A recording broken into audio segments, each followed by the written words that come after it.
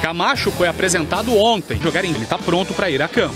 Teve outras coisas que pintaram, mas eu preferi vir para cá pelo, pelo clube que é, pela estrutura que dá de trabalho, então minha escolha foi o Corinthians. É o momento de falar pouco e trabalhar muito, né? Então acho que os treinos estão aí para isso, vamos treinar bastante, como já vem treinando e dar a volta por cima.